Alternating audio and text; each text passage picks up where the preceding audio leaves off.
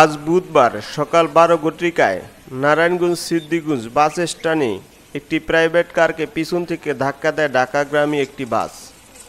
ধাক্কা খেয়ে প্রাইভেট কারটি আইল্যান্ডে লেগে গিয়ে উল্টে যায়। ঘটনাস্থলে গিয়ে জানা যায় প্রাইভেট কারে তিনজন লোক ছিল। গুরুতর অসুস্থ সবাই।